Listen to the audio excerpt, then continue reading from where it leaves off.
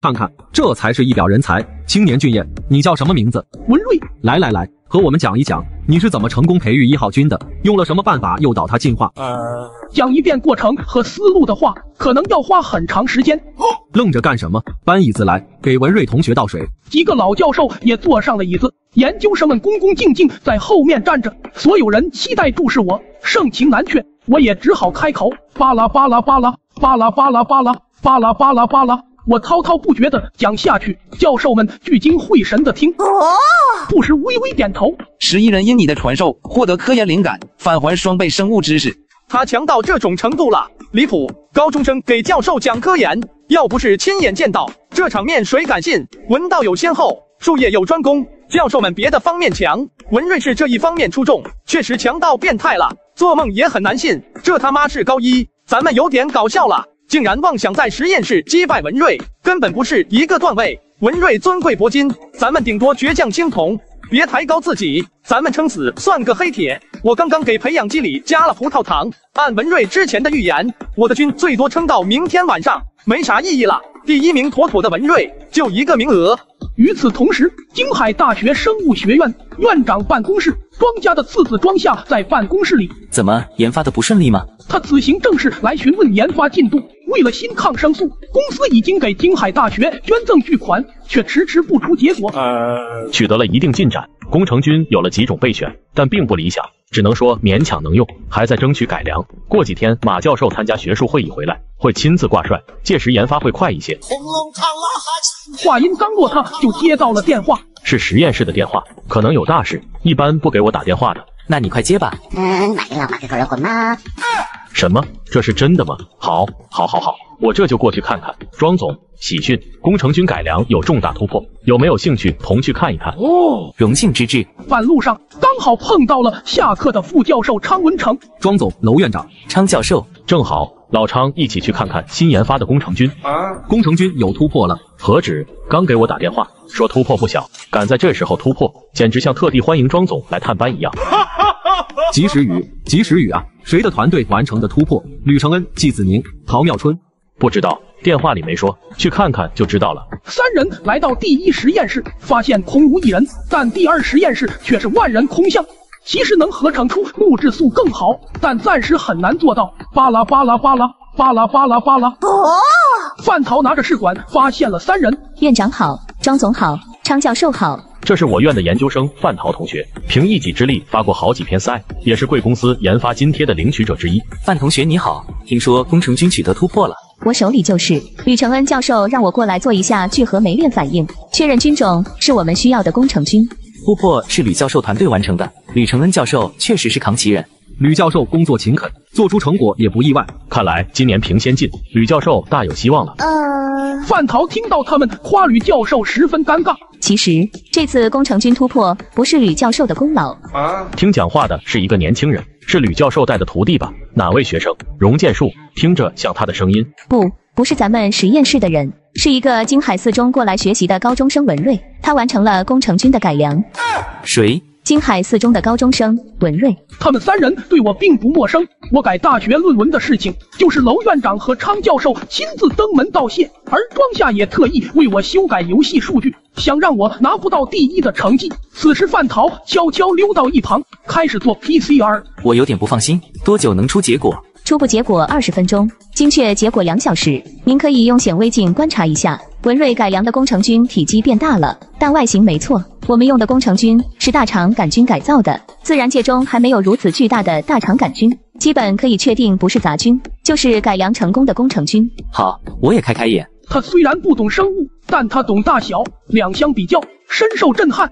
厉害，属实厉害，确实是重大突破。能做到这么大，教授们都很激动，这是突破性的成果，不光是在研发新药上突破。甚至在学术界都算一个突破，后续可能会写成论文发顶刊。发顶刊，高中生可以发顶刊的吗？呃，我不知道行不行，我猜的，也可能发不了。暂时能讲的就这些。一些思路我还要梳理。接下来我想完成一项工作，总共有四十种废掉的工程菌，我只改良了一种，我想试试把剩下三十九种都改良了。工作量很大，我需要一个团队，谁愿意来给我打打工？虽然我不能支付工资，但工作完成后写论文，我可以把你的名字挂在后面。哦，旁边两个老教授毫不犹豫，瞬间也把手举起来。老吕，你举什么手？你还要研发抗生素？工程军不是为了抗生素造的吗？老纪，你不妨把手放下，你还要带学生，带学生不是正好？我肯定没多少时间干活，把我学生弄过来帮帮忙。我的学生可是人才，你麾下那些刷试管都刷不利索的蠢材不能比。你俩都把手放下，你俩有要紧工作，但我不负责抗生素研发。这项目有我一个教授足够了。啊，老陶你变了，平时你不是事事无所谓，怎么今天如此积极，还想把我俩踢踢出去？好啊，老陶你也来插一杠子是吧？上次乳酸菌项目你给我抢了，这次你必须退出。一个教授唇枪舌剑，隐隐有吵起来的趋势。文瑞同学啊，我带了九个研究生，可以安排到你这里帮忙。人手这方面我最充足。文瑞同学，我时间最充裕，每天可以帮你盯两个小时实验。吕教授和季教授大忙人，他俩一天够呛能来盯半小时，根本是想蹭你的论文作者，不要上了这俩老东西的当。文瑞啊，为师有钱，我的科研经费多到花不完。他俩经费加起来没我多，我时间确实不多，但我向你保证，每天一有空，我就来帮你解决些问题。等你的实验结束后，撰写论文，我可以亲自出手帮你写，我不会像某些无良导师那样抢你的第一作者。这个项目做成，第一作者绝对是你的，谁也抢不走。哦，我彻底心动。吕承恩看上去慈祥面善，这番话说的也诚恳。学生不才，能拜吕教授为师，非常荣幸。季教授、陶教授。很遗憾，这次不能合作。下次有机会一定找二位老师赐教。这时，三人终于走了过来，众人也顿时散开。娄院长好，昌老师好，你好，我是庄夏，这个项目的投资人。百闻不如一见，文同学一表人才啊。庄总好，现在忙吗？不忙的话，找个会议室一叙，我们谈谈工程军的报价。哦，这么快就来钱了吗？我妹妹在家提起过你。我父母好像对你很警惕，你懂吧？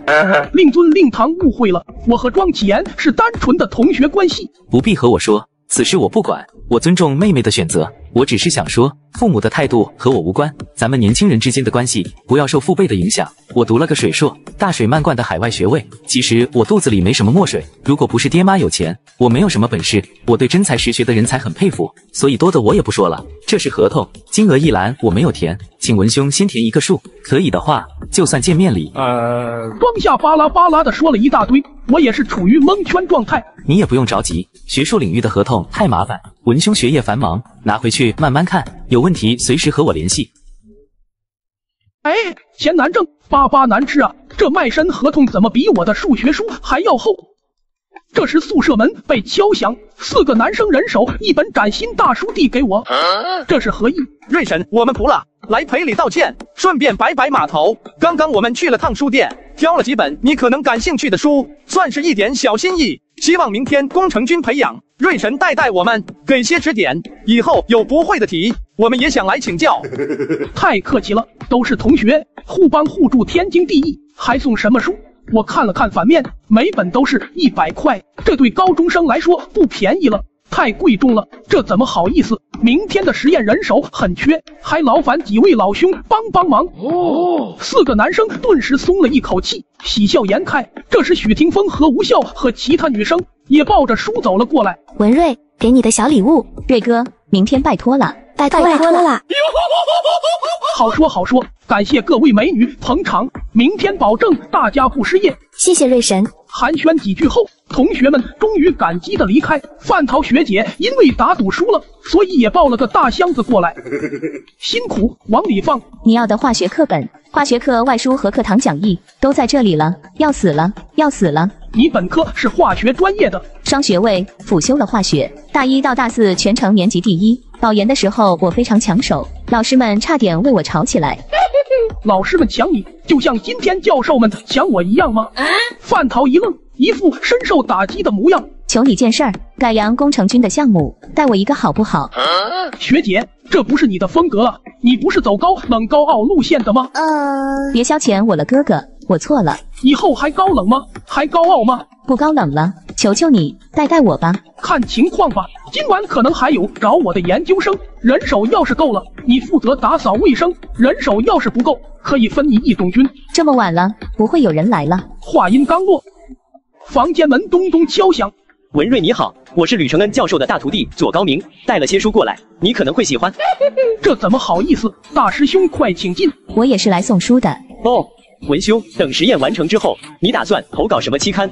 得看实验有多成功了。我对论文投稿并不了解，甚至对学术圈现状也不懂。希望学长学姐给我指点一二。我讲一讲不同级别的科研工作吧。最顶级的大分学者，爱因斯坦、杨振宁这种，他们相当于设计出世界上第一条裤子，裤子能穿。差一些的大牛，诺奖得主、院士之类，他们在裤子右侧设计了个口袋，发现口袋可以装手机、钱包。这些大牛稍微动动手，便可以霸占顶刊的头版。巴拉巴拉巴拉。巴拉巴拉巴拉，文兄，感觉你的实验是哪种档次？呃，我改良了一号菌，算是知道可以缝口袋。等剩下的三十九种菌都改良完成，我就能摸索规律，推测出口袋该缝在什么地方。要么头顶刊，要么头顶刊的大字刊。对，不过我觉得登上小子刊就很可怕了，大字刊太激进。哼，我又不是孤家寡人，吕教授帮忙，一堆研究生学长学姐干活儿，再加上我和同学们，咱们阵容强大吗？这么多人跟我干，辛辛苦苦只搞出一篇小子刊，简直像请客吃泡面。对不起大家，文兄你误会了，能上小子刊属于烧高香，不会对不起谁。哪怕差劲点的小子刊，我们干活也绝对不亏。是啊，别以为小子刊是大白菜，能登一篇小子刊，我们做梦都要笑醒。大子刊太恐怖了，你发篇大子刊，将来你读博，导师闭着眼让你过。我不喜欢小的，我喜欢大的，保底大子刊，否则就是打败仗。范桃和左高明面面相觑，不知该继续说什么。那我们先回了，明天还要跟你干活。带我一个，我干活很麻利的，你狠狠用我就行，我不会喊累。晚安，明早实验室见。吓死人了！我知道牛人都有个性，没想到文瑞野心大到吞天。高中生发大子刊，敢笑皇朝不丈夫啊！能跟他混一篇小子刊，我就感激的要磕头了。文瑞有股子气势在身上，无论成败，他有胆魄。今天听他讲一号军的改良思路，逻辑缜密，见闻广博，比很多硕士都强。哪怕这次他发不上小子刊，等他本科阶段大子刊乃至顶刊也易如反掌。与此同时，京海四中某女生宿舍，你好卷，卷成麻花了。因为文瑞吗？嗯，他才是卷王。我跟他做同桌，不学习有种罪恶感。是不是想拼命学两周，等他归来，你秀出暴涨的成绩，秀他一脸，让他对你不敢小觑？啊好啊，直磊，你在我肚子里养蛔虫是吧？没错，人活一口气。他老是嘲讽我笨蛋，可恶至极！我要把分数拉上去，打他脸。我刚刚在厕所听到一个文瑞的八卦，重磅八卦，能炸翻学校那种。我现在犹豫要不要告诉你，卖什么关子呀？快说快说！文瑞成功改良了一种工程菌，就这工程菌是什么？改良一下很牛吗？具体难度我不清楚，但在实验室引发了轰动。教授和研究生们把文瑞团团包围，向他求取真经，听他讲实验思路。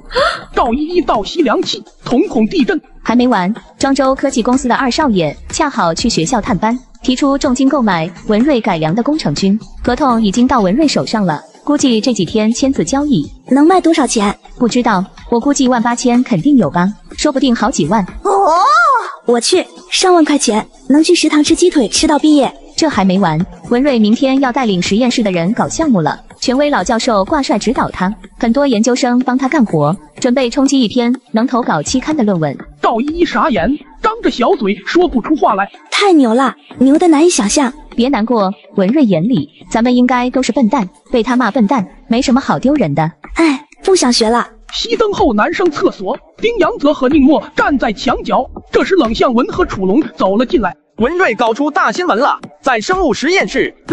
什么新闻？他改良了一种工程菌，把教授惊动了。接下来，文瑞要带团队做实验，争取搞篇论文投期刊。我猜过他能在实验室搞出名堂，结果他搞出新闻了，强的骇人听闻，头皮发麻。这成就够写进京海四中的校史了吧？恐怖如斯，简直恐怖如斯！文瑞实力越来越恐怖了，我输的不亏。文瑞专攻生物，利好我们数学。未来一段时间，他的数学肯定会落下，毕竟时间都耗在实验室里了。龙哥未必，未必。当初我和宁墨也是这么猜的。文瑞一颗强的离谱，另一颗应该会战略放弃，但文瑞证明他两颗可以同时独孤求败。啊！你们被他吓怕了。选入竞赛队不算太难，竞赛队大考才是鬼门关。到了高层次的顶尖竞争，他无法兼顾。哼，没错，他想在实验室杀出个黎明，数学必然舍掉。丁阳泽和宁墨没吭声，有些被说服了。文瑞虽强，只是在某一方面想挑战六边形战士楚龙，还得多修炼一两年。